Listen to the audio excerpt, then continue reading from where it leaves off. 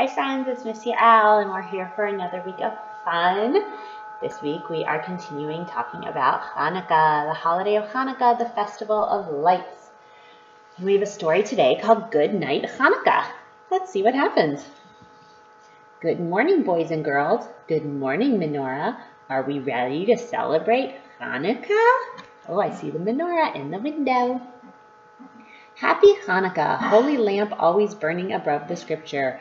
Hello, children, preparing for the celebration. Do you know the story of the Maccabees? After protecting the temple from the enemies, the Jewish heroes only had enough oil to light their lamp for one night.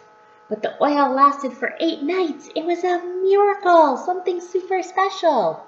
Welcome, family, to the Hanukkah celebration. Shalom, children making artwork to celebrate the holiday greeting friends, cooking tasty latkes, potato pancakes, and jelly donuts. The food we eat on Hanukkah is cooked in oil to honor the oil from the Maccabee lamp. Shine bright, the giant menorah at the western wall in Israel. It's so good to see our friends and help those in need, like when we do tzedakah. Dreidel, dreidel, dreidel, sing the dreidel song and spin away. Gimel means you win it all. They're spinning and spinning and spinning. Let's gather around the dinner table and eat our Hanukkah dinner. Good evening, family is exchanging Hanukkah presents. Do you like getting presents? Good evening, everyone celebrating the Festival of Lights. We light the shamash after saying a prayer. Good night, menorah. One candle is lit for each night of Hanukkah. Do You see the candles burning bright in the Hanukkah menorah? Good night, shiny chocolate gelt. Good night, children.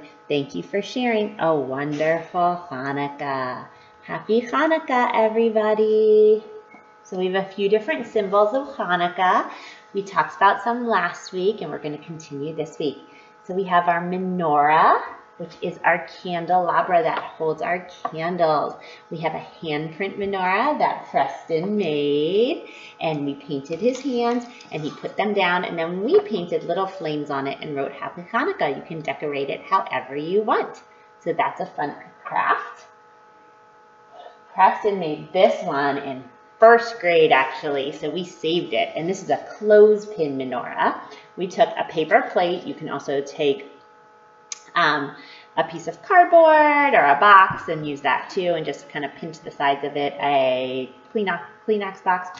But I like taking a plate and stapling it together. We put a stick in the middle so you could hold it. And then we put clothespins on for each of the candles. Let's count. One, two, three, four, five, six, seven, eight.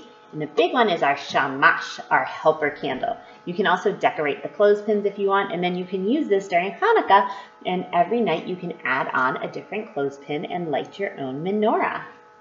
We have one last craft from this week, and that is our watercolor dreidel. We spin the dreidel and have lots of fun on Hanukkah.